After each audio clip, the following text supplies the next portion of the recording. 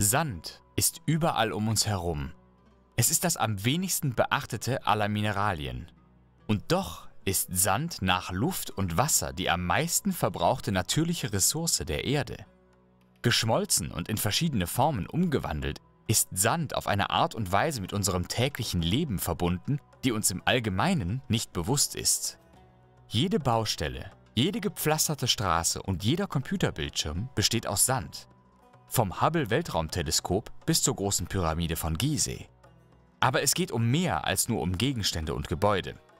Sand ist auch die Quelle von Siliziumdioxid, einem Mineral, das in dem Wein, den wir trinken, dem Papier, auf dem wir schreiben und den getrockneten Lebensmitteln, die wir essen, enthalten ist. Es ist ein Mineral, das in Zahnpasta, Kosmetik und so weiter enthalten ist. Gleichzeitig ist Sand eine Quelle strategischer Mineralien wie Kieselsäure, Thorium, Titan, Uran und so weiter. Ohne diese Grundstoffe, ohne Sand, gäbe es keine Kreditkarten oder Bankautomaten und sogar bestimmte Kunststoffe und Metalllegierungen wären nicht möglich. Sand ist für die Innovation unerlässlich. Es ist die stille Zutat der menschlichen Zivilisation und, so unglaublich es klingt, er geht uns aus.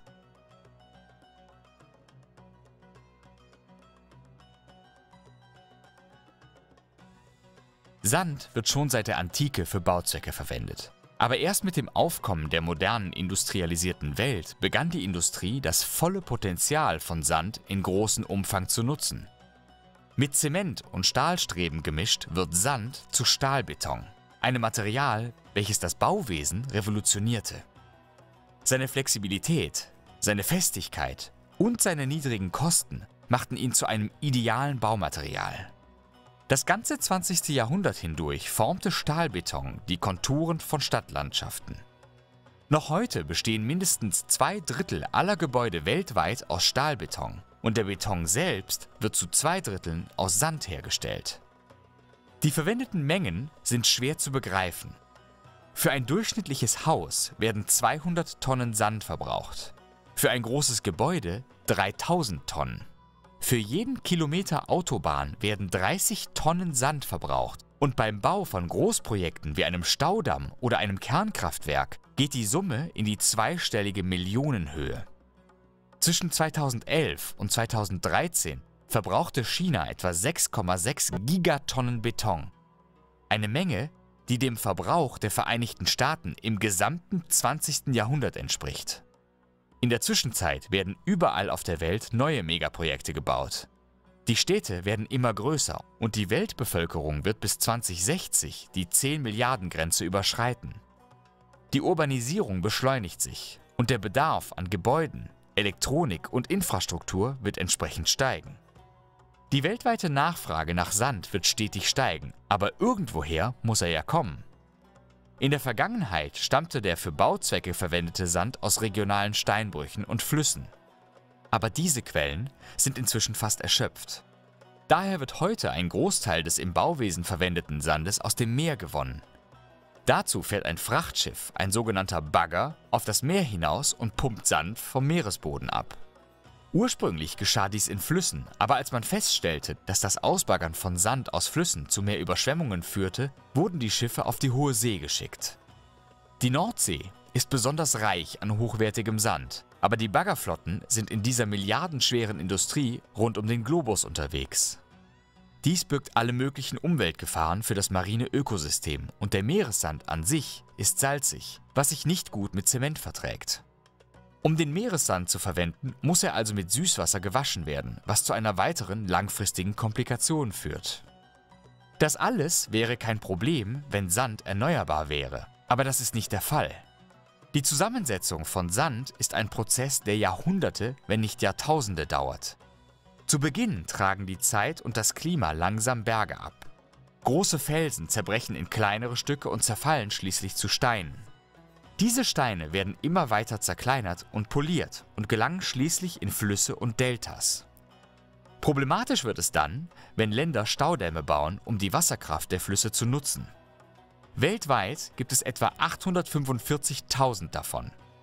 Diese Dämme halten nicht nur Wasser, sondern auch Sand zurück.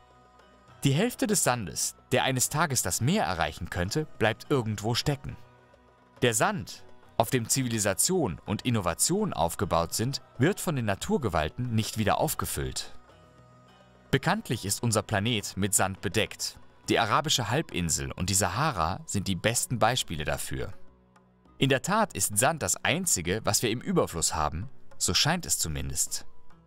Wüstensand ist jedoch die falsche Art von Sand. In seinem Buch The World in a Grain erklärt Vince Beiser, dass Wüstenkörner rund sind. Sie wurden von Wind und Zeit so gründlich poliert, dass sie sich nicht zu dauerhaftem Beton zusammenfügen. Für jedes Bauprojekt, ob es sich nun um eine künstliche Insel oder ein Krankenhaus handelt, müssen die Sandkörner raue Kanten haben, damit sie zusammenkleben. Sand aus Flüssen, Ufern, Flussbetten, Überschwemmungsgebieten, Seen, Meeresküsten und der Tiefsee hat raue Kanten und eignet sich daher perfekt für industrielle Zwecke. Wüstensand hat die falschen Eigenschaften und wird daher als wertlos angesehen. Das erklärt, warum die Vereinigten Arabischen Emirate Sand aus Australien importieren oder warum Saudi-Arabien Sand aus Schottland importiert, während Ägypten Sand aus Indien importiert. Sand an einen Araber zu verkaufen, war früher ein Sprichwort. Heute ist es der Gipfel der Ironie.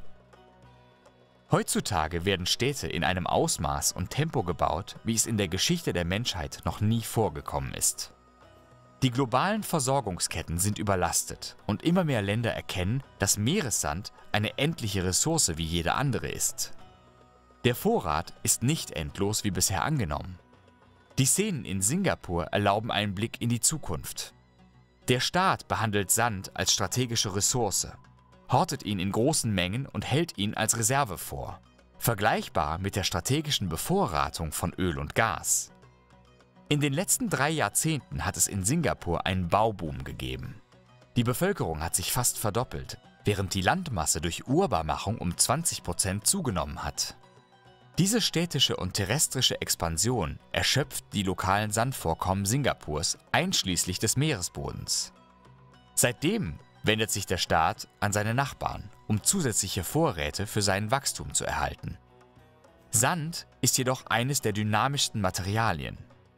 Wenn man ihn aus dem Meer entnimmt, gleicht die Schwerkraft die entfernte Menge aus, indem sie Sandkörner aus höheren Lagen und sogar über weit entfernte Standorte transportiert. Das bedeutet, dass die Küstenlinien auf der ganzen Welt schrumpfen. Für See- und Inselstaaten ist dies ein langfristiges Problem, insbesondere wenn man den steigenden Meeresspiegel berücksichtigt. In den letzten drei Jahrzehnten, als Singapur Sand von seinen Nachbarn importierte, begannen einige kleine Inseln im südchinesischen Meer zu verschwinden. Indonesien zum Beispiel verlor 25 Inseln als es Sand nach Singapur exportierte, was wiederum zu Grenzverhandlungen zwischen indonesischen und singapurischen Gesetzgebern führte. Im Jahr 1997 verschlechterte sich die Situation so sehr, dass Malaysia den Sandverkauf an Singapur einstellte. Indonesien und Kambodscha zogen 2007 nach und Vietnam verhängte 2009 ein Sandexportverbot.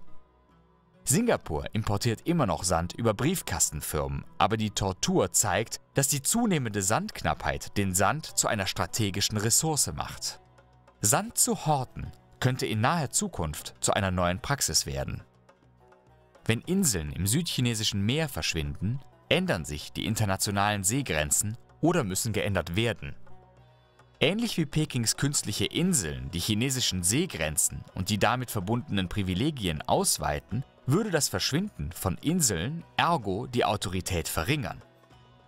Das extremste Beispiel findet sich in Indien, wo die berüchtigte Sandmafia zu den mächtigsten Verbrechersyndikaten des Landes zählt.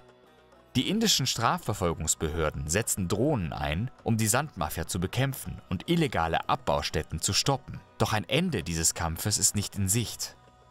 Die Sandmafia ist eng mit der landesweiten Bauindustrie verbunden und verfügt über tiefe Taschen im politischen Apparat.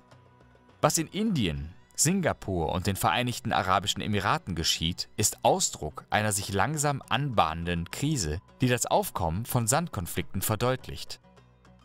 Es gibt deutliche wissenschaftliche Hinweise darauf, dass Sand in vielen Teilen der Welt immer knapper wird. Und wenn eine strategische Ressource endlich wird, wird sie zu einem Katalysator für geopolitische Auseinandersetzungen ähnlich wie Erdöl und Erdgas. Schließlich sind Konflikte oft auf den Wettstreit um natürliche Ressourcen zurückzuführen. Wenn sich nichts ändert, wird die Sandkrise immer mehr zu maritimen Konflikten führen, Gemeinschaften gefährden, Engpässe verursachen und die Umwelt schädigen. Endliche Ressourcen schaffen nahezu unendliche Konflikte. Das war Caspian Report. Wenn euch das Video gefallen hat und ihr mehr Videos über Politik, Wirtschaft und Geschichte sehen wollt, abonniert doch den Kanal. Wir würden uns sehr freuen.